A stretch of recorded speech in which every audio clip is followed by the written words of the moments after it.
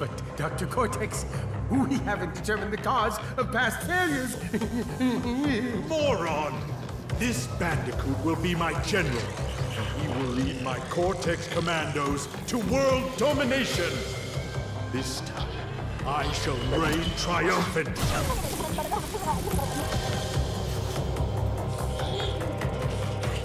We are closer than ever before. Quickly, into the vortex. Dr. Cortex, the vortex is not ready. We have no idea what it could do.